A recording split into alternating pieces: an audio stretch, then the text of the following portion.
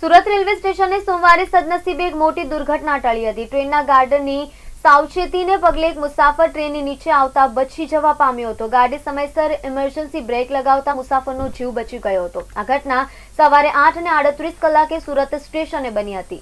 Train number ઓગણીસ zero ઓગણીસ Bandra Gorakhpur express પોતાના નિર્ધારિત સમયે આઠ ને બત્રીસ કલાકે સુરત સ્ટેશને પ્લેટફોર્મ નંબર એક પર આવી પહોંચી હતી. પાંચ મિનિટના રોકાણ બાદ તે ઉપડી હતી, જોકે થોડી જ વારમાં આશરે ચાલીસ વર્ષનો એક મુસાફર ટ્રેનના કોચ બી સિક્સમાંથી ઉતરવાના પ્રયાસમાં પોતાનું સંતુલન ગુમાવી બેસ્યો હતો. તે સમયે ટ્રેનની ઝડપ વીસ કિલોમીટરની હતી. સ્ટેશન પર લોકો મુસાફરને બચાવવા માટે પાછળ પાછળ દોડવા લાગ્યા હતા. ટ્રેન ગતિ પકડે તે પહેલા જ ગાર્ડ પ્રિયેશ સિંહની નજર પડતા તેણે સહેજ પણ સમય બગાડ્યા વિના ઇમરજન્સી બ્રેક લગાવી દીધી હતી. જેને કારણે ટ્રેન અટકી ગઈ હતી અને મુસાફરનો જીવ બચી જવા પામ્યો હતો.